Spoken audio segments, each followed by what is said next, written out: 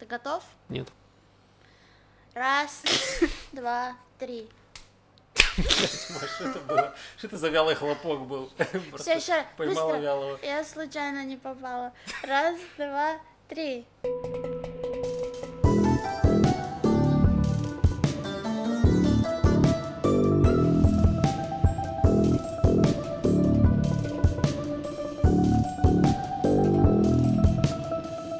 Шалом! Вы слушаете подкаст «Что там у евреев?» Еженедельный подкаст о главных новостях в Израиле и еврейском мире. С вами Макс, Лев и Маша. Привет. Привет. Э, Хотелось бы извиниться. Я в прошлом подкасте говорил, что вот мы вышли, значит, на регулярный график выпуска подкастов раз в неделю. И тут прошло ну, почти две недели. Я бы хотел извиниться. Там у меня был день рождения, еще куча всего. В общем, я накопил отмазок. Вот. Но мы постараемся выходить как, с какой-то промежутком Да, больше нормальным. ничего не праздновать постараемся. Да. В целом, да. От меня день рождения все. Настолько жизнь уныла, что можно ничего и не праздновать. Э, что у тебя было интересного, Лев? Ну, из интересного я начал работать над дикцией э, по упражнению, которое посоветовал Денис Чужой, которое ему посоветовали в Гоголь-центре. Это нужно зажимать винную пробку между зубов и говорить с ней так. Блин, мы хотели, чтобы я ее принес сюда и что-нибудь вам сказал с винной пробкой в зубах, но ладно, потом. А, хочешь, я шутку тебе расскажу? Это не шутка, это реальная история моя. Так. Я услышал про, ну я знал про эту штуку с винной пробкой. Я тебе больше скажу, я ее засунул. Я не, ну, я не знал, что нужно взять между зубов. Так. И я ее засунул полностью в рот. И я Оу. такой думаю, а как нужно говорить? Типа, не очень удобно. Совсем неудобно. И я потом зашел в YouTube, типа, упражнения с винной пробкой. И потом показали, что нужно чуть-чуть ставить Да. зубами, в зубах держать немного. Да, да, да, говорить. да. Ну там просто история, что типа, грубо говоря, когда у тебя в зубах винная пробка, ты там прям, прям каждый звук должен выговаривать, а, ну, акцентированно, потому что иначе он у тебя пропадет. И тогда буквы не жуются, как, как у меня в речи. Вот, и я, собственно, винные пробки я взял у Макса на день рождения, тут люди пили вино, я воровал их пробки, принес А, домой. вот я понял, почему ты пробки забирал, потому что я не понял тогда. Я думаю, ну ладно, там утехи у них свои какие-то с пробками, я думаю, не буду даже интересоваться. Да, Теперь понятно. да, ну и это, подруга у меня веселая, поэтому я сижу, значит, с пробкой разговариваю, и такой, типа, что вот бесит, что после пяти минут работы с пробкой она вся в слюне, она такая, ну зато в жопу легче ставить будет. Вот. Передаю слово следующему. Благо пробок у вас теперь много, все нормально. Маш, что у тебя было интересно? Так, интересно. Ну, стендапы идут плотненько. Это я уже говорила. Ты уже, вижу, уже говорить не можешь после этих стендапов. Уже. Да, много стендапов, э, будут длинные выступления, отчетное выступление и проверка материала. Это тревожно, потому что это долго нужно стоять на сцене и держать мысль, держать аудиторию, все держать, это много ответственности. Вот продолжается арт-прогулки тоже, веду завтра и в пятницу арт-прогулки, в мае сделаю новые, вот все, в общем, еще в этом формате развивается. А еще недавно я получила в Инстаграме сообщение очень приятное от молодого человека, который находится на программе на Алле. Который находится прямо сейчас. Здесь, вот, который прямо в этой студии. Он сейчас зачитает. Эм, Да, и он мне написал, что эм, вот есть такая рубрика, эм, что культурная минутка зажгла огонь в моих глазах. Это пишет он. И быстро собрав вещи, я помчал в музей Тель-Авива. И остался в восторге. Спасибо нам большое, что это моя, это моя вторая выставка за всю жизнь, и первое самостоятельное решение на нее двинуть. Хочу теперь ввести это в привычку, так как тема искусства мне близка. Вот, и он всего два года в стране, э, и немного видел еще, и на программе на Алле, и, в общем, что он уверен, что в Тель-Авиве кипит жизнь, и он дальше спрашивает про всякие еще штуки, где можно узнавать про искусство. Короче, испортил пацана, да? Был По бы факту. отличный программист, возможно, хороший инженер. Так, Теперь- любому программисту очень полезно отвлекаться на искусство. Ну да, да. Понимаю, это всем полезно, это другой мир. И вообще у меня мысль, я хочу еще написать, может быть, немного о том, э, ну, зачем вообще ходить на выставки. То есть я вижу, что этот Напиши, вопрос да, витает э, в облаках. В э, облаках во- это, это и комната. в воздухе, витает в воздухе, э, и это тоже интересно, на самом деле, мне почитать, что вообще по этому поводу пишут, вот, и как-то сформировать тоже единую такую мысль, так что будем работать в этом направлении, Так пускай люди в комментарии напишут еще раз, что нужно написать в комментарии. Ну, м, если у вас есть какие-то мысли, эм, под- э, зачем людям ходить на выставки, вот есть, так, есть такая э, стигма, да, что э, зачем мне ходить на выставки, я не понимаю искусство, вот такая большая, то есть есть такой стереотип, что вот есть люди, какой-то такой сектор, который не понимает искусство, но я в это не верю, то есть мо- в моей, эм, моем видении, понимании, что искусство может э, понимать каждый, и вот как у, у Верепаева была эта короткометражка, там, где м- мальчик пытался поговорить с полячкой, которая его не понимает, и, и он у нее спрашивает, эм, а ты, ты не понимаешь, да? И она говорит, ну, она такая, «Не, не понимаешь, да? Он говорит, а не надо понимать, ты ощущай. Вот, вот это про искусство, понимаете? Хорошо. И можете посмотреть эту короткометражку Воропаева, я, правда, не помню, как она называется, но я, Ну, я мы кину. приложим ссылку, да. Да, и в общем, что дашь, это про ощущение, про то, которое опирается на твой жизненный опыт, то тебе может нравиться искусство или не нравится, это другое, это другое, э, Вопрос. ну, другое, другое обсуждение, вот, то есть и не надо их всех смешивать. Ладно. Ну вот в комментариях э, напишите, если у вас есть мысли э, по поводу того, зачем человеку ходить на выставки. Вот берем э, среднестатистического не того, кто угорает по искусству, как я, и просто, боже, боже, как там классно в музеях, а вот просто человеку, э, который после работы, вот зачем ему вообще идти на выставку и смотреть на искусство. Если у вас есть какие-то идеи... Если можно, Если аппетитка. можно, пойти в стрип-клуб, да. Вот. Ай, Действительно, тут уже дилемма другая. Нет, ну я, между вы прочим, каждый хожу и день туда, и туда. стрип-клуб? Когда ты был в стрип-клубе? Чё вы это тут... э, Вы нормальные люди. Два года назад в Амстердаме я был в стрип-клубе, в двух. А я был первый и последний раз в 16 лет. Мы выступали там с концертом в перерывах между стриптизом. Да, я помню эту Супер. Как это релевантно к тому, какой жизнью вы сейчас живете? Мы до сих пор живем прошлым, получается, со Львом. Получается, вы застряли на шесте. Я советую вам слезть оттуда и У Льва там, спуститься у Льва в там музей. пробки, все нормально. Кошмар. Что у тебя, Макс, Ладно, было? у меня, значит, у меня был день рождения, мне исполнилось 29, и еще я ходил выступать со стендапами, но поразило меня, естественно, не это все. Главный отпечаток в моей душе на этой неделе оставило, а то, что я зашел на кинопоиск, я туда часто захожу, чтобы посмотреть про фильм, почитать что-нибудь. И я там увидел на главной странице сериал называется «Папик». И я такой, ну ладно, папик и папик, ну бог с ним. Кто я такой, чтобы судить? И я увидел рейтинг 7,8. На секундочку, 7,8. Мне кажется, у, не у всех фильмов Нолана есть рейтинг 7,8. Папик это сериал украинский, э, комедийный сериал. Ну, название само за себя говорит. Я такой думаю, наверное, это что-то гениальное. Но не может быть у сериала, еще и украинского, 7,8 рейтинг. Комедийный сериал, не драма. Я открываю, я начал смотреть, я такой, нужно, я должен углубиться. Я открываю, и там очень плохо. Ну вот, настолько плохо, насколько вы можете себе представить э, комедийный сериал, снятый в постсоветском пространстве. Отвратительно. И я такой смотрю рейтинг, захожу, а там уже э, там рейтинг еще растет потихонечку. И я смотрю отзывы, а там отзывы положительные, комментарии положительные. Я такой, что? И может быть я, я тупел. И я посмотрел 10 серий этого сериала. Я потратил 4 часа или 5 часов своего выходного, чтобы посмотреть сериал, и я все равно не понимаю, откуда там такой рейтинг, как такое может происходить. Мне кажется, у Максима просто папика нормального не было.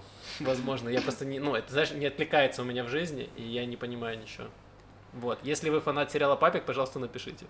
То Я есть почему? мы, я теперь по- спасибо за твой комментарий, потому что теперь понятно, что ты выбираешь между музеем и папиком, а не между музеем и стрип-клубом. Так и говори, Макс. Будь честным со своей аудиторией, со своими подписчиками. Ладно. Так, нужно сказать, что на прошлой неделе у нас был э, День независимости. 15 получается, апреля. Да, ничего не путаю. 73 года Израиля. Вот. Вы как-то праздновали, что вы делали? Я отдохнул. Я решил, что, ну, как бы Израиль э, создали, чтобы я в нем отдохнул. То есть я от России как раз сюда реэлектрировался. И в день рождения Израиля я должен прям хорошо отдохнуть. Ну и я просто ничего не делал, просто провел его в виде желе, по-моему. Что-то такое. А я, на самом деле, я натупил, потому что как в Израиле происходит? Есть де... Йом Азикарон, День памяти, и он идет всегда за день до Дня независимости. Дня независимости. Да. Но я почему-то подумал, я забыл, что в Израиле все как бы по лунному календарю все праздники отмечаются. То есть по факту в среду был, э, получается, День памяти, а в четверг День независимости. Но празднования начались в среду вечером. Да. И я не знал, мы в среду вообще пошли к Аркадию, ты тоже туда подошел, мы играли вообще в настолке, мы играли в манчики, не самое праздничное времяпрепровождение, ели пиццу. И я, когда уходил уже от Аркадия домой шел, я просто увидел толпы людей, и я такой думаю, ничего себе вы вспоминаете жертв террора и войны. Думаю, вот это веселье. И потом до меня дошло, что вот сейчас уже празднование, а я все это время играл в настолки. И я такой, как же я хорош. все сделал правильно. Ну, был стендап, кстати, на День Да. независимости. Не самый лучший, потому что это мои любимые стендапы перед караоке, и мне они тяжело даются, потому что я не научилась еще завлекать аудиторию, чтобы они переставали хотеть петь. Эм, вот. И, а дальше я пошла к, к знакомым, друзьям, которые гуляли в это время, все, и я что-то, и мне вообще не хотелось пить.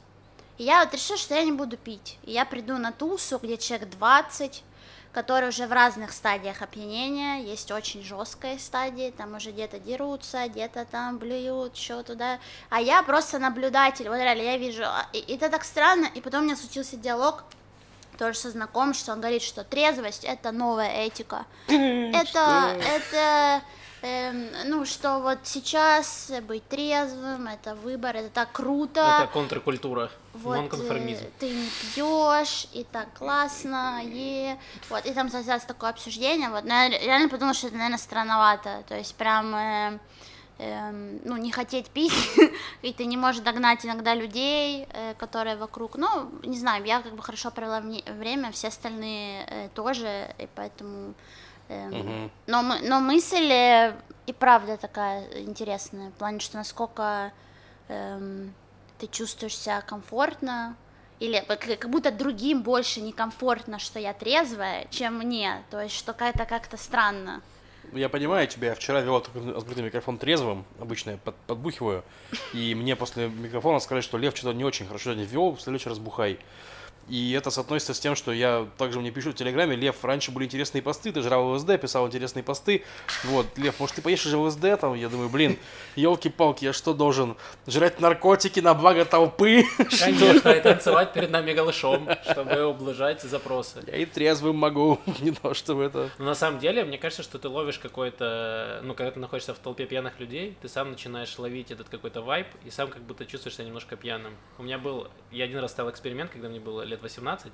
Я месяц не пил и тусовался, ну, со своими одно- одногодками.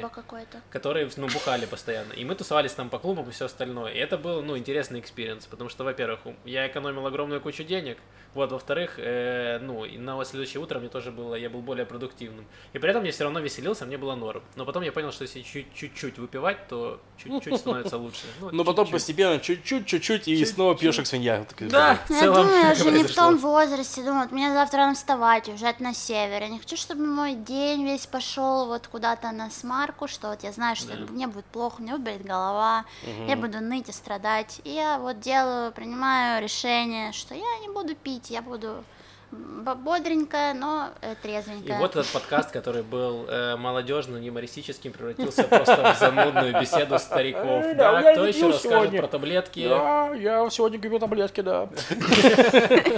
Да, пить плохо, давайте не пить. Вот не пить можно столько веселиться, столько всего повидать. Можно сходить на выставку, посмотреть на картины. Все равно приплел туда.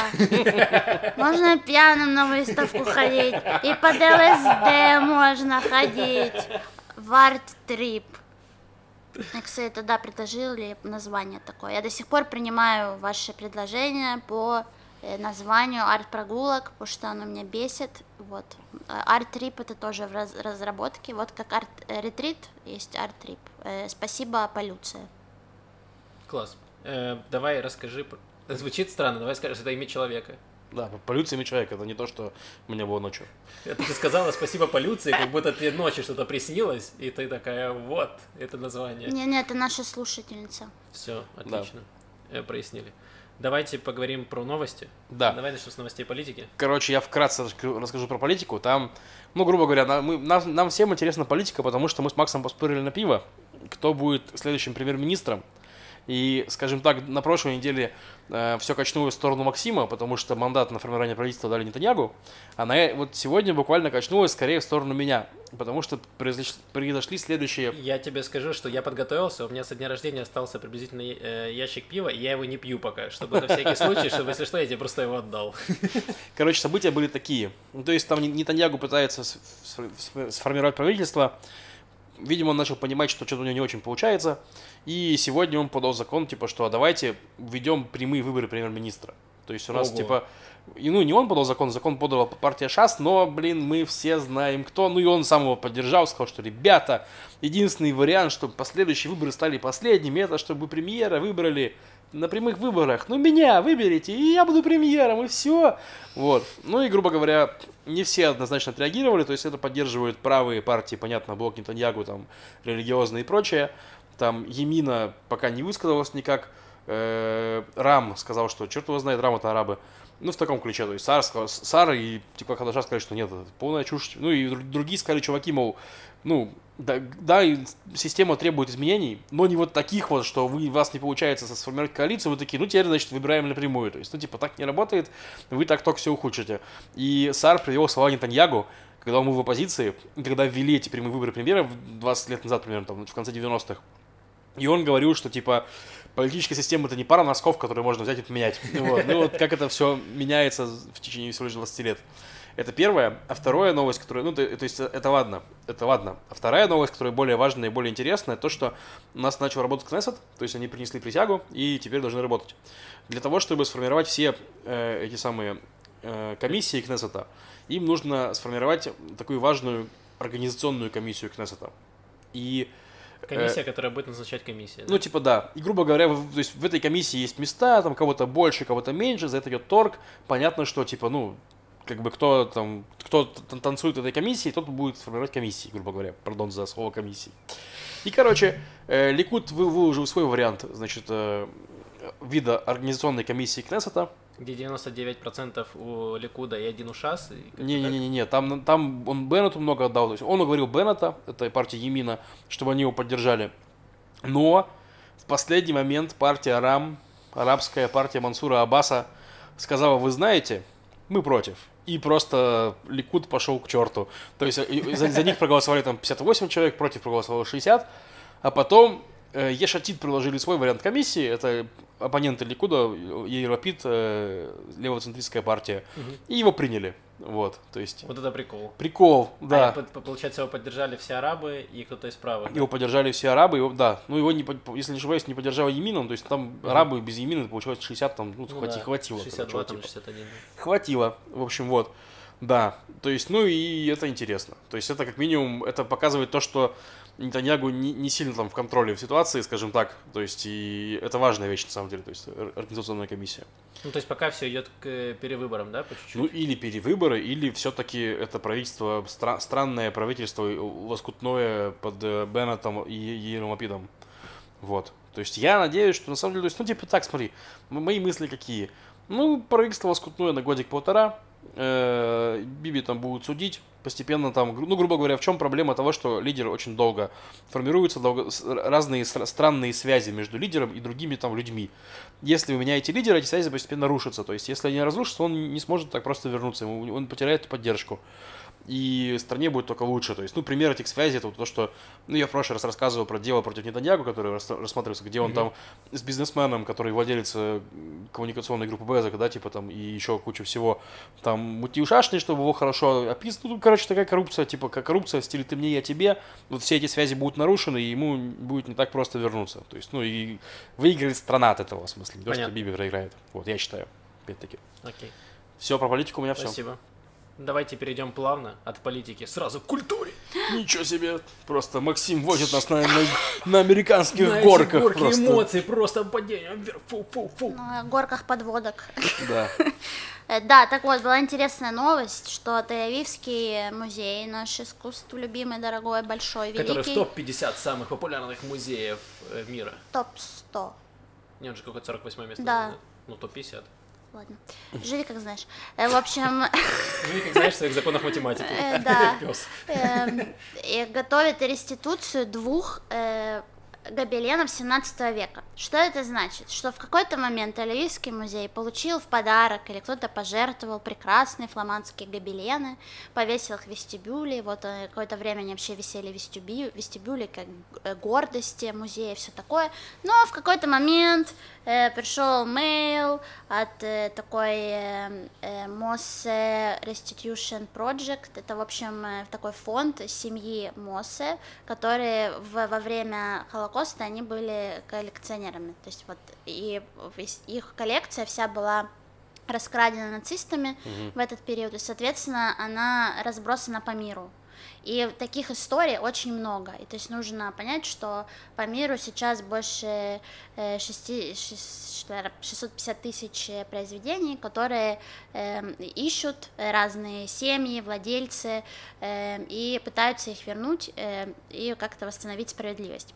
Что это нам говорит? Это то, что музеи перестают быть э, наивными, потому что раньше все радовались э, подаркам, что вау, Ван Гог, о да, мы великие, все посмотрите, вот у нас Ван Гог, а потом приходит имейл, и где написано, что вот это наш Ван Гог, та-да-да. и дальше музей должен перепроверить эту информацию, и э, так как это тоже, ты не просто берешь э, Ван Гога и отдаешь его тому, кто попросил, это нужно доказать, проверить, все установить, что тоже достаточно долгий, трудоемкий процесс, но тем не менее э, в большинстве случаев в какой-то момент нужно будет расставаться с этим произведением искусства, То потому что... Я правильно понимаю, что вот те картины, которые пожертвовали музею, они не Да. принадлежали тому человеку, который их пожертвовал? Нет, то есть это может быть в какой-то момент, это, э, ну, то есть ты не можешь проследить, э, э, это либо украдено, либо продано на каком-то аукционе дальше впоследствии, Мгм. и э, эм, есть какие-то подделанные документы, то есть это ра- разные Блин, ну это же истории. на самом деле очень интересно. Вот ты, допустим, на аукционе купил картину, Да. потратил свои деньги, Да. дал ее музею погонять, ну, эту картину.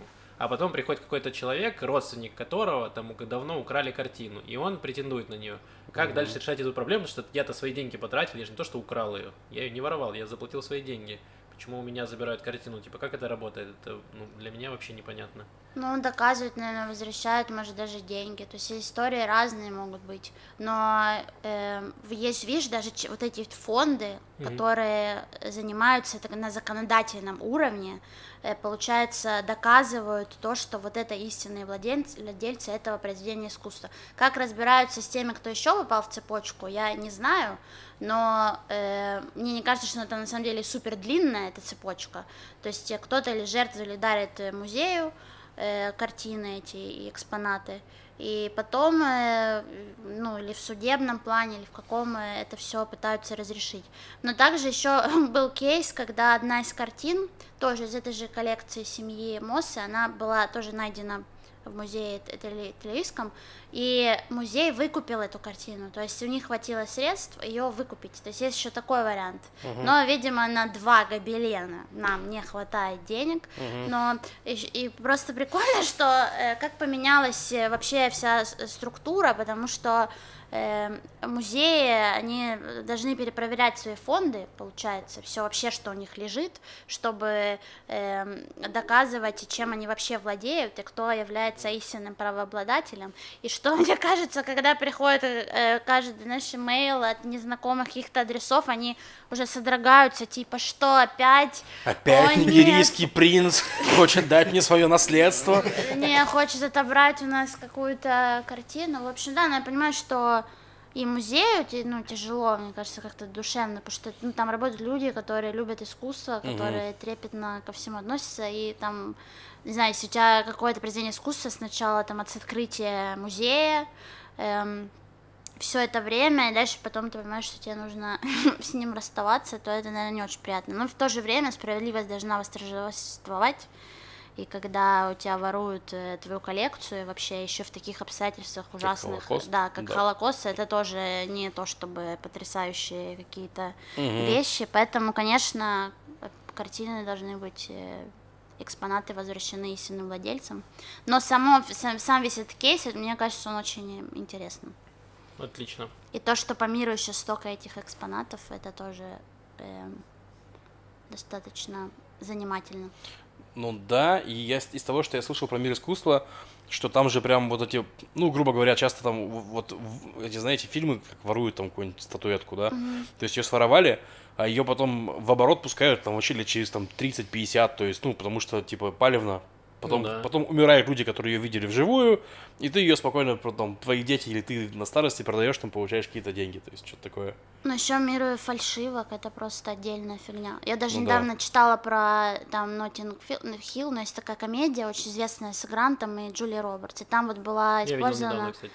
Картина Шагала, что Мгм. вот он там уви- он у него висит в календарь с репродукцией картины, и она ему в конце дарит оригинал, потому что она вся такая богачка, актриса, та-та-та. Э, Но суть не в том, а суть э, в том, что э, эта картина, оригинал, принадлежит японскому коллекционеру. И то есть сценарист, ну, режиссеру нужно было договариваться с Да. этим коллекционером, А что- ты уверен, что это было, это прям оригинал, был оригинал? не-не-не, что э, это не был оригинал, Ну вот. но они не могли просто использовать, то есть им нужно было договориться с э, вообще с э, возможностью сделать копию. Мгм. И эд- этот чувак дает добро только в том случае, если после съемок фильма эту копию уничтожают, потому что эта копия может попасть на арт-рынок и уйти с молотка. В смысле, серьезно нельзя сделать копию картины? Нет.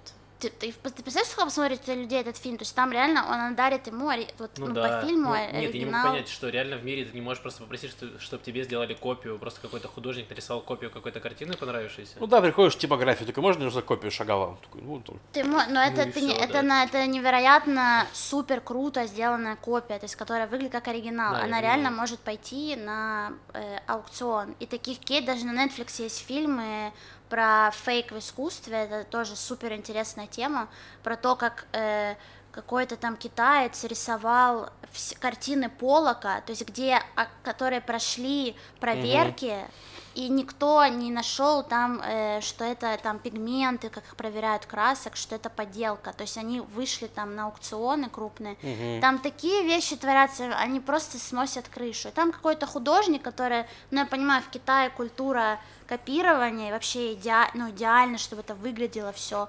беспрекословно, просто э, а- они копировали, то есть он, это один чувак, э, который, а он такой, я не знал, что они пойдут на аукцион, я вот просто как вот на сувениры, прода- вот как ты говоришь, Ну да. они уходили с молотка как оригиналы. То Жесть. есть ты представляешь, какая это наживка? Ну, естественно, Не, ну э, про такие картины, да, но если ты знаешь, что картина Шагала, но оригинал, где он находится, то странно продавать его. Ты можешь просто загуглить, там, не знаю, эта картина, и кто, ну, где она находится. ну, Не ты такой- недооцениваешь Да, этот, я... э, Какой коллекционер? Я видел его, в магазине висит. Чё Ты мне- можешь, ты можешь сказать, что, ну, вообще-то вот этой картины, там невеста, да, картина невеста, их две было, вы не знали, но Шагал нарисовал их две. Одну он подарил, э, значит, своей умершей жене, а второе А вторую мне было. отправил по почте Израиля. Она просто все эти годы шла, я поэтому так долго не мог ее Ну, блин, получить. там ты- вот если ты посмотрел, у тебя взорвался бы мозг от тех комбинаций, которые там вообще происходят. И как, и у меня просто реально, я не могла поверить в то, что я вижу, как, про- как они вокруг пальца обвели весь арт-мир э, созданием копий, там, под- подделками вообще истории этих. э, это, это реально выносит мозг. Так что посмотрите, я тоже потом напишу название, вот, которое на Netflix я упоминала, я напишу Хорошо. Да. один из. Ну и плавно уходим от э, культуры к самосожжению. А, к жести. Ну, короче, на прошлой неделе перед э, базой Цахова э, чувак по имени Ицик Саидани, Саидаини самосожег себя, ну, то есть поджег себя. Он не умер, пока что находится в критическом состоянии в реанимации. Он э, ветеран Цахова, ветеран армии Израиля, который получил, участвовал в военных операциях, получил ПТСР, то есть посттравматическое стрессовое расстройство. Ему прописали частичную инвалидность и, грубо говоря, ему в 2020 году понизили э, выплаты пенсион, ну, у него вот эта пенсия военная по инвалидности два раза, потому что он не мог, он не работал, то есть, и поэтому по- понизили выплаты, что-то такое. И, грубо говоря, у него был очень тяжелый год, денег нет, у тебя ПТСР, и он психанул, просто понял, что вообще нет пути, и, короче, под- поджег себя, типа, и его потушили охранники, отвезли скорую, но и теперь вот буквально вчера, по-моему, или позавчера была большая э, забастовка э, ветеранов Цахова, как раз таки инвалидов, ин- инвалидов Цахова, даже не то, что ветеранов, инвалидов. Ну, и они требовали пересмотреть все, все, все эти дела, то есть почему ему порезали зарплату, в смысле, почему он там довели до такого состояния и прочее. Ну и настолько, что даже Нетаньягу сказал, что да, мы сделаем реформу этого отделения вот Цахова по управлению вот инвалидами, то есть ну вот этого всего. То есть так что там будут какие-то подвижки, возможно. Ну, хорошо, что будут подвижки, но жалко, что только такими действиями можно привлечь внимание к проблеме и добиться каких-то изменений. То есть, ну, как будто плохой сигнал подают, что если вы хотите, чтобы у вас улучшились условия, давайте кого-нибудь подожжем. Ну да, есть такое. Давай перейдем тогда к хорошей новости, и к более хорошей. Это про то, что про полезность в ношении масок. А, ты рас... я расскажу. Ты рассказывай. А, хорошо. Ну, у нас, во-первых, с буквально со вчерашнего дня можно не носить маску на улице. Это вообще восхитительно. Очень приятно, да. Я как будто иду по улице, и чего-то не хватает. Я прям Да. иду, и у меня какое-то ощущение непонятное, что что-то очень странно, странно себя чувствую.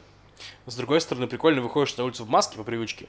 Идешь пару метров, такой, а, можно же маску снять, снимаешь маску и сам улыбаешься, потому что елки А ты смотришь на других людей, которые идут в масках, и такие типа, ха-ха-ха, дураки, не знают ничего. Ну, сейчас жизни». особенно жарко стало, поэтому тоже Ну да, это приятный бонус. Очень приятный бонус, абсолютно, да, шараф. Вот, и вы, вы- выкатили исследование о том, что в Израиле за этот год сократилось количество обращений в скорую из-за приступов астмы и аллергической реакции на 45%. И они, ну, ученые связывают это чисто с масками, потому что, грубо говоря, общее количество вызовов сократилось на, на 10%, Мгм. ну и это похоже на то, что пандемия. То есть, ну, все сидят дома, меньше травмируются, меньше в опасных местах находятся и так далее. Ну, у кого-то дома опасное место, но неважно. То есть, а вот астматики и аллергики прям сильно упали, то есть на 45%. Это значит маски.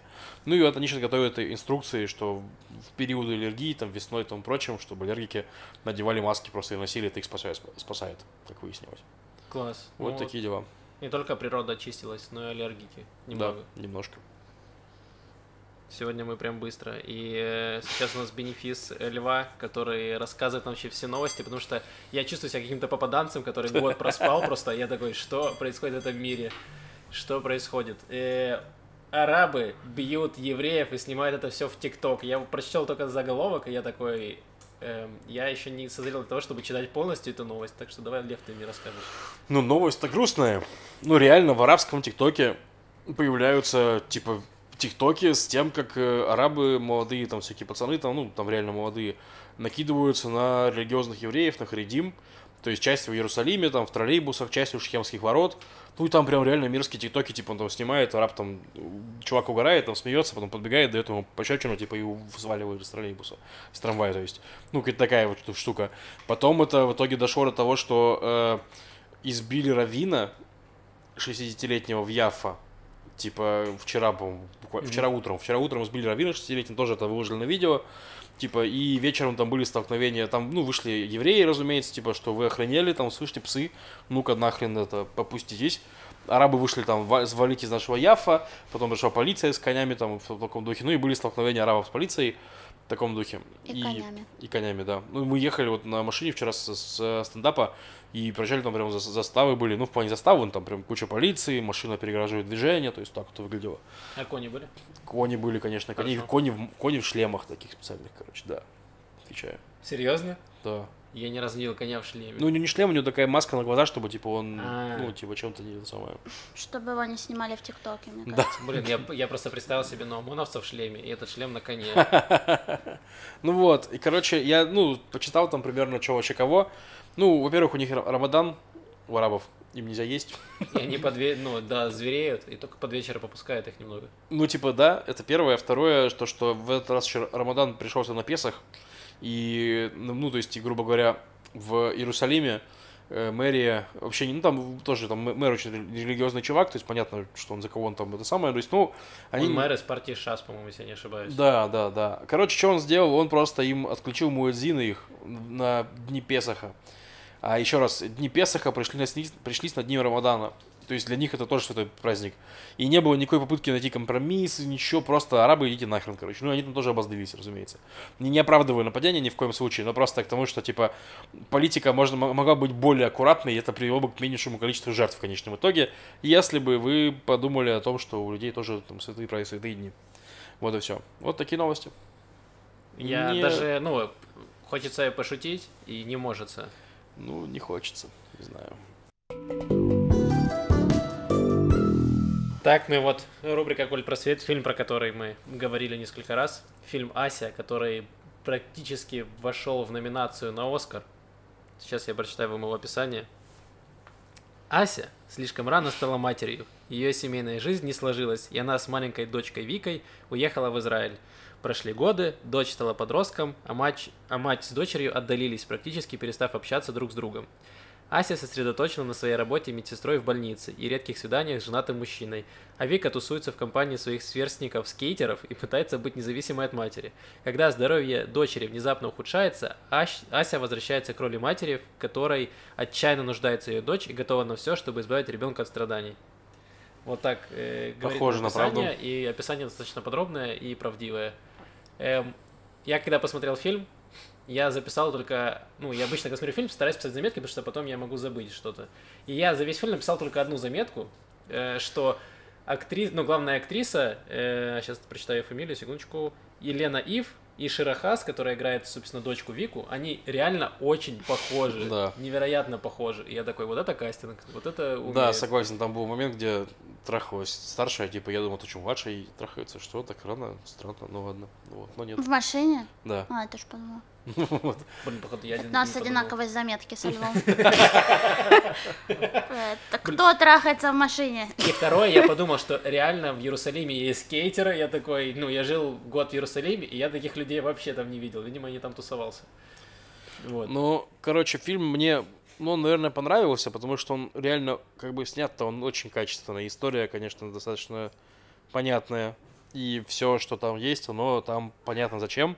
И все понятно. Но грустно капец. И это вообще не то, что мне нужно было в эту неделю, если честно. Я так-то не то, чтобы очень веселый был. Ну, там новости из России очень грустные, очень хтонические. Тут еще фильм про такую жесть. Ну, просто потому, что там болезнь девочки развивается стремительно и достаточно трагично, так скажем. Не будем спойлерить, но вот так вот, скажем. И это прям, ну, грустно. Вот. Но если вы, скажем так, если вы не боитесь э, Смерти. не, ну, в смысле, не боитесь получить... Ну, то есть, если вам нормально получить некие трагические переживания от фильма, то посмотрите, он очень хороший, и там показано столкновение, ну, не то, что стол- столкновение, вот русская реальность, израильская реальность, перетекающих друг ну друга да, там. он как будто бы фильм про двух сильных женских персонажей. Э, Показана их жизнь э, в Израиле. То есть, как будто там нет какого-то посыла, как такового. Да, да, да. Э, Просто показана история. Ну, отцы и дети тема-то основная, Ну мне да. кажется. Ну, окей, мать и дочь, но я имею в виду э, концептуально. Еще мне показалось, что очень крутым лайфхаком, что когда одна из актрис не разговаривает по-русски, и сделать такой, создать гэп языковой, что тоже, что очень э, распространено, когда э, дети лучше, ну, Точно, вот, кстати, я знают, так сейчас подумал. классно. знают иврит э, лучше, чем э, взрослые. И это очень прикольно, что, ну, Шира Хас, она же не говорит э, по-русски. Мгм. И мне кажется, что это очень крутой лайфхак э, соединить, э, ну, актеров, которые, да, говорят на разных языках Да, буквально. там в фильме просто мать говорит по-русски, а девочка отвечает на иврите. Мгм. Ну, и это реально, кстати, постоянная история с Да. Дора Хатвехетса, потому что, то есть, ну, я тоже видел таких ребят, ну, то есть, именно такие вот именно диалоги, что мать прям по-русски говорит, сын все понимает, но отвечает только на иврите, что он, ну, не может по-русски отвечать. Ну, это прикольно мне показалось. Да, да, прикольно в натуре. да, И да. еще что тоже такое наблюдение, эм, там она говорит фразу, что вот я прихожу домой после работы тяжелой и постоянно вижу твое недовольное лицо, ну что все, что я все, что я делаю, не так, в общем. Вот, и я подумала, что вот это ра- раб- Это, если что, мы не пытаем детей, это просто кот орет.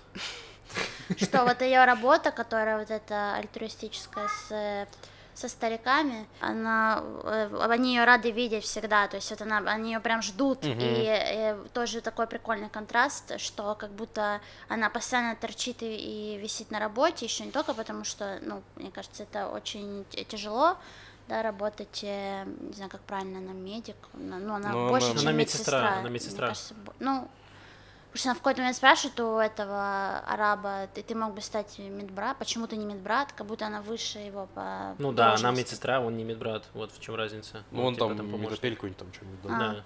Ну, ну, в общем, э, и вот это тоже мне показалось такой, таким интересным э, контрастом, что э, на ее тяжелой работе ей рады больше, чем эм, дома, в общем. Ну, И- какая-то обычная подростковая история, когда до- ей дочери там лет 15, Ну и да, да. 16, понятно, у нее там другие интересы. Ну да, но фильм такой грустноватый, меня прям вот пару раз точно так защемило нормально. Эм, но эм, хороший, то есть в целом. Ну, а как будто бы фильм, вот про любую, что касается там какой-то сложной болезни, каких-то там э, сложных отношений, вот он, она вся построена, есть какая-то, э, ну, конструкция у всех этих фильмов, и он как будто бы очень каноничный в этом плане. Единственное, что мне концовка не очень понятна была, потому что там как будто бы очень быстро прошел этот э, перерыв, то есть они вроде бы нормально-нормально, и потом вот случается там финал, и он прошел буквально там за минуту, я такой, Ну там не, Ого. ну, там потому что показали, что у них в итоге отношения нормализовались. Там в Да. конце была такая нарезка, типа, по сути, кадров, где они, ну, пришли к этой гармонии, да. Но ну и в конце финал. Ну да. да, уже поз- поздновато. Поздновато, да. поздновато. Но в Ну, целом... как помните фильм этого, э, ты знаешь, про Ван Гоги? Мгм. Ну, что тоже они вот в гармонии отец и сын пришли, когда отец уже там совсем, типа, загибался. Вот. Тут Мне не наоборот. очень понравился Ван Гоги, ну то есть, но этот, эм, да, я тоже думаю, что вот, как бы я не люблю этот вопрос, но что вот хотел автор глобально сказать. Я, я, то есть есть вот эта проблема явная отцов и детей, ну как я ее называю, да, взаимоотношения поколений, эм, но по итогу мораль, какая, вот к- какая его э, режиссера, я не до конца все-таки поняла, что он, что именно он Мне кажется, там ее не хотел. было. Он даже не закладывал туда. Это просто история. Ну, Обожаю такие фильмы. ну да, там нет никакого посыла прямого. То есть, типа, ты делаешь одно и получаешь другое. Там просто проказанная история, и все. Она логично начинается, логично заканчивается. Ну, то есть, она как будто нет вопросов после фильма, нет вопросов, почему этот герой поступил так, а не иначе. Там вроде бы все вполне понятно и логично складывается из персонажей, которых нам показали. Мгм. Вот, э, в целом, да, фильм нормальный, но на меня как-то не произвел он особого впечатления, потому что я, наверное, сам себя накрутил, потому что я подумал, раз он едет, ну, прям на Оскар, я думал, что это прям будет очень хорошо. А он просто, ну, крепкий фильм, нормальный. Забавно только на кинопоиске, что написано сборы в мире, и тут написано 207 долларов. Это Ну, на Патреоне, что ли? Видимо, да. Я не знаю, ну, он не прокатывался нигде, то есть это фестивальное, чисто фестивальное кино. Вот, и опять же, мы со Львом скоро подпишем петицию, чтобы в Израиле сделали сраный сервис с израильскими фильмами, который можно заплатить деньги и легально посмотреть нормально, даже пусть без перевода, с какими-то субтитрами. Просто сделайте базу. Мне кажется, это вообще не сложно. Сейчас все цифровое есть, просто сделайте сайт, загрузите фильмы и Так показывайте. займись, Макс, ты какая ниша? Ты же кинолюбитель. Маша, я шутки пишу некогда, некогда.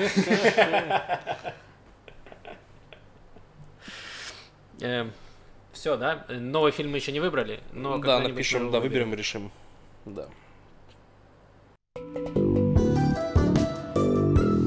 Ну и мы про культуру продолжаем, недалеко отходим, так сказать, недалеко от кассы. Маш, продолжай. Да, расскажу про три, наверное, выставки. Очень много у меня в голове. И э, сразу скажу про один из моих любимых проектов, про который я уже, наверное, говорила раза два. Это Зуму, который мобильный музей, э, который развивает э, искусство, назовем это, не в центральных частях страны. И это вот будет, они сейчас с 18 мая, будет выставка в городе Лот.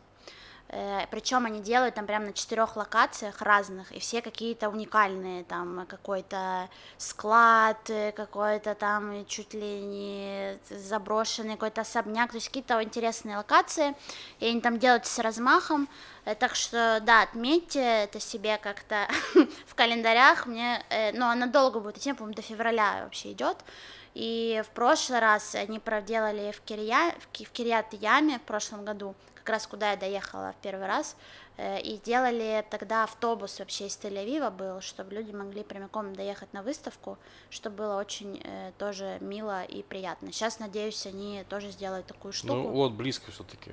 Можно не вот ехать на Ну, автобусе. в Кирьят-Ям тоже не очень далеко так-то. А, ну Ну, ладно. в районе часа туда ехать.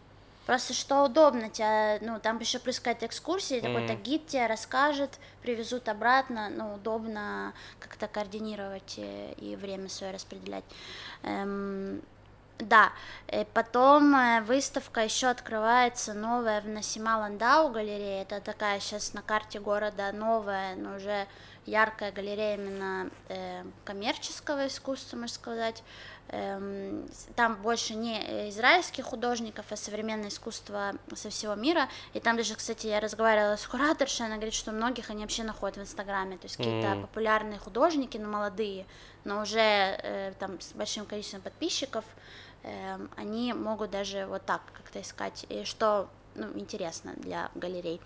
Эм, и там будет тоже групповая выставка эм, с 7 мая, да, и там привезут, эм, блин, Аршама, в общем, это э, крутой чувак, считается в современном искусстве, сейчас у него серии и такие скульптуры, которые как прорезаны внутри драгоценные камни, то есть они как э, испорчены, чуть раздроблены местами, Эм, и тоже они написали, что вот первый раз эм, в Тель-Авиве, по-моему, ну то есть, но мне точно писали вот э, друзья Степа с, с Алиной Айфо, э, художники стрит-арт, что э, об- у него были его работы представлены в Холландском музее дизайна когда-то.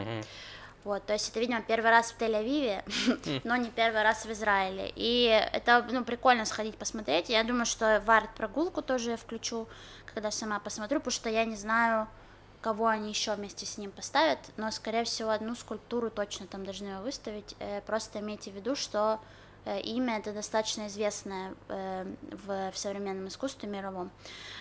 Еще выставка новая в Эдмонд де Ротшильд, это на эм, такой центр образовательный, культурный на Ротшильд 144. Э, Там выставка, которая называется Черный дождь. И там, по-моему, семь проектов разных эм, э, медиумов, то есть саунд-дизайн, там видео-арт, э, живопись. Эм, я ее еще не видела, но я иду на нее завтра, куда поведу группу тоже. Эм, и там вот это прям, ну, современное искусство уже израильское. Эм, да. Я уже боюсь, что я что-то забыла, что хотела.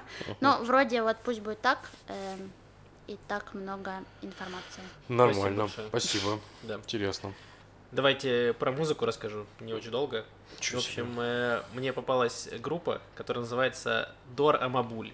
Это в переводе на с иврита это поколение потопа. То есть Мгм. это танахическая штука, когда был потоп, вот этих всех смыло, значит, всех этих грешников, и примыло, значит, э, новое, Праведников. но- да, новое поколение праведников. В общем, это такая э, классическая поп-рок группа, такая каноничная. Вот группа Зверя, представьте себе. И вот Мгм. только на иврите. Там два брата, два брата акробата из Риховата, еще у них пару друзей, и вот они гастролируют, играют. Я когда Ты рассказал, что вот в Ореховоте у всех просто хороший звук, хо- хороший, в смысле, голос, там что-нибудь, слух. Нет, не знаю ничего про это. Хорошо. Эм, я когда искал информацию какой-то о группе, я начал гуглить, и я нашел... э, Кинопоиск, рейтинг 8 баллов, извините. отлично, вот это ваш. Я проверяю материал, не всегда заходит. Так, кинопоиск, так. рейтинг. А, Google, гуглю, что? Так, я искал информацию про группу, я зашел, э, была какая-то статья 2016 года, и там было написано, что вот группа существует уже несколько лет, и они сейчас активно работают над записью альбома. Как вы думаете, сколько альбомов они записали к 2021 году? Ноль. Лев просто выигрывает сегодня автомобиль. Э, Вот. Эм, Да, они записали ровно ноль альбомов за столько лет. При этом группа активна, они постоянно выступают, гастролируют с концертами по Израилю. Вот, но они выпустили всего, по-моему, 6 или 7 синглов, но в альбом почему-то один не собрали. Но, видимо, они сейчас заканчивают, потому что вот у них за последние несколько месяцев вышло одно- пару новых песен. И прям неплохая последняя песня Роца Адам. э, Прям хорошо. Очень хорошо. Вот, рекомендую послушать. Добавлю э, песню в плейлист на Spotify и плейлист на YouTube. Вот, потому что вставлять в выпуск э, YouTube жалуется, и Яша жалуется. И я еще не знаю, что хуже. Яша жалуется Ютубу. Да. Видимо, так и происходит. А в нашем подкасте играет песня незаконно. Да, да, да. Ладно, э, давайте скажем спасибо всем нашим патронам, всем Да. нашим подписчикам, комментаторам. Нужно больше срачи в комментариях. Пожалуйста, поднапрягитесь, поднавалите. Ну. Еще что-нибудь. Не, ну Максим, нам нужно вытаскивать, вытаскивать какие-то контроверсовые мнения, чтобы там были срачи. Да, Вот так мы сегодня про даже про самосожжение нормально не пошутили. Про избитого равина в ТикТоке не пошутили. Очень плохо ребята работают. Нужно Да. подсобраться. Я хотел сказать спасибо па- патреонам, патронам, то есть, да, э, если хотите нас поддержать, то обязательно поддержите, потому что нам нужно, и, ну, в плане мы бомжи, вот, это первое. А второе, мы начали сейчас регулярно записывать бэкстейдж, то есть там даже самого маленького tier а на патреоне, уже есть дополнительный контент, вот, кроме того, это патреон теперь не только подкаста «Что-то мы евреев», но и все я Балаган, то есть там тоже будет еще всякий, всякий разный контент, фотографии и прочее, будет, короче, прикольно. Вот. А, да, мы еще планируем на самом деле ребрендинг пятничных евреев, поэтому вообще-то, если есть какие-то запросы и идеи, что бы вам могло быть интересно из наших э, уст э, и э, пальцев, чтобы мы, может быть, вдохновились на какой-то новый формат э, пятничных евреев. Возможно, они станут не пятничными и не евреи. Мало ли что мы Судя придумаем. по нашему дивану, мы тут вообще не евреи. Как выяснились э, по комментариям к прошлому подкасту, мы здесь, ну, не, не особо евреи. Да. Вот. Так что пятничные гои можем назвать. Да, пятничные гои. Э, Есть пара вопросов в форме, я сейчас Давай. зачитаю. Первый вопрос на иврите. Что, написали, что по- м- м- м- Мамашкеем, ну, короче, не буду читать на иврите. Очень приятно нас слушать. Э, Не совсем согласен, но что поделать. Спасибо Это огромное. нормально. Это абсолютно нормально. Да, спрашивает, спрашивает э, человек, чем мы пропали, что было. Вот. Ну, как я уже говорил, просто э, дела, делишки. Вот. Не, ну там был большой перерыв, когда у нас просто был выпуск выездной, мы периодически пытаемся прыгнуть выше головы, встать с дивана, как говорится, и записать где-то еще. И то есть Для один- льва встать с дивана это уже прыжок выше головы. Ну, так что дайте нам немножко скидки. Посмотрите на меня. Короче, к тому, что первый вариант был, когда мы снимали на пляже, сработало, а второй, когда мы снимали в музее, э, не сильно сработало, там получился очень сложный монтаж. Яша там изнывает и монтирует, рано или поздно он закончит монтировать, и мы его выложим. Он, ну, тот выпуск по открытию музея, он музей не, не закрывается, поэтому все будет нормально. Вот, а потом мы наладили, ну, более-менее раз в неделю выходим, будем стараться дальше так делать. Да, иногда просто все накатывает, потому что мы еще приходится нам работать. Вот. И Выступать, с- да. работать, выступать, и все это совмещать сложно, но мы ста- стараемся, стараемся. Да. Много комментариев было про Равкав, ну, много, два комментария было про Равкав. И мы рассказывали в прошлом выпуске историю о том, как у девочки, нашей знакомой Саши, в Москве работает Равкав в метро. И я с ней сегодня еще поговорил разок, она еще раз сказала, что просто к некоторым турникетам старым прикладываешь Равкав, и он снимает А, два к некоторым, шекеля. не ко всем. Ну, не каждому, да, типа. а, к то есть новым- это все-таки сбой какой-то. не- Ну, типа, снимает 2 шекеля, что равняется 45 рублям московским. То есть, ну, типа, Класс. да. Так что абьюз может работать с некоторыми тем самыми. Да, есть, там типа, просто написали, что, равка- что такое Равкав. Равкав это карточка проездного израильского. Вот это не, ты не можешь этой карточкой нигде расплатиться, только в автобусе или ну там в поезде ты можешь приложить ее. То есть это не то, что ты кладешь деньги, как электронный кошелек какой-то. Нет, это Подорожник просто. это называлось одно время, когда я Да. жила в Питере. Я не Было знаю, такое. как сейчас. не Ну, знаю. карточка, вот, чтобы... Боярышник. э, Боярышник. В Украине, кстати, не помню, как они назывались. Ну просто проездной так назывался, нет, карточка. Не Ладно. уверен. Там были названия забавные у каждого. Подорожник я помню. Ладно. У нас. э, Зеленый с божьей коровкой. И еще один комментарий. Ребята, спасибо за классный подкаст. Слушаю это с начала пандемии, вижу, слышу, как вы растете. Спасибо. Очень приятно. Вопрос имею. Я снимаю бакала- бакалаврскую работу о переезде моей мамы в Израиль. Учусь на фотожурналиста. Пандемия мешает, но вроде что-то получается. Что посоветуете почитать об миграции из СССР и России в Израиль и на смежные темы? О том, как живется выходцам из русскоязычного пространства в Израиле и как раньше жилось. Интересуют прежде всего научные и научно-популярные статьи и книги, но вообще у нас отношение к источникам очень мягкое, пресса прокатит. В идеале на русском, английском или немецком языке. Спасибо. У меня сейчас чувство, что мы не соответствуем э, уровню интеллектуальному Наших наших, э, подписчиков, да, и слушателей. Э, Хочется закончить карьеру подкастера в секунде.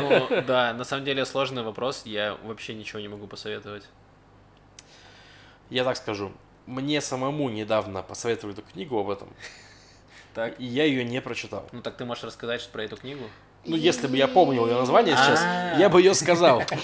Я, смотрела только документальный фильм, но это, наверное, не совсем то, что спрашиваю. Ну, про эм, русскоязычных э, евреев, которые пытались уехать эм, в Израиль или в Америку. И вот там рассказывается пару их историй. Эм, вот. Есть, если Есть же какой-то байопик э, на э, Шаранского. О, Вот, это который, Интересно, да. который отказник, э, донецкий чел, который жил в Москве и пытался уехать в Советском Союзе, пытался смыться в Израиль, его посадили в, тю- в тюрячку, и вот, и он все пытался оттуда сбежать, и в итоге там во время Это- перестройки его освободили. Это как раз связано, это документальный фильм, это Да. тоже этот же Как они период. Пытались есть это самолет же отказник, А, отказники, это да, то, я но думаю, да. там истории др- э, других еще семей, вот которые уезжали в Америку в основном, и вот с, че- с чем они сталкивались, но и про Израиль там тоже есть. Да. Ну, в общем, есть потрясающая история, как э, группа евреев пытались угнать самолет, чтобы улететь на нем в Израиль. Ну да, Вот. это вообще жесть. Она Да. там реально кинематографичная, вот, можете погуглить. Э, Я не помню точно, как она называлась. Но в целом, вот только такие истории, ничего больше, более умного посоветовать, к сожалению, не могу. Вот тебе, Максим, смотри. Максиму спасибо за стендап в Ультре. Бомба вообще. Хотеть часовое выступление. Ну, вдруг написал? Э, нет, спасибо, очень приятно. До часового выступления не хватает приблизительно 54 минуты материала. Э, Вот, я уже очень-очень близко. Но на самом деле, э, я думаю, что пора заканчивать своей карьерой, пока она на пике. Пока никто не может сказать, что стендап был херовый. Вот, я могу закончить прямо сейчас, и хер вы докажете, что он был плох. Вот. эм, Как-то так. Спасибо большое за комментарий, очень приятно. Вообще, публика, вот я ходил только в Ультре выступать, очень классная. Э, Спасибо всем ребятам, кто ходит, поддерживает. Прям очень приятно. Да.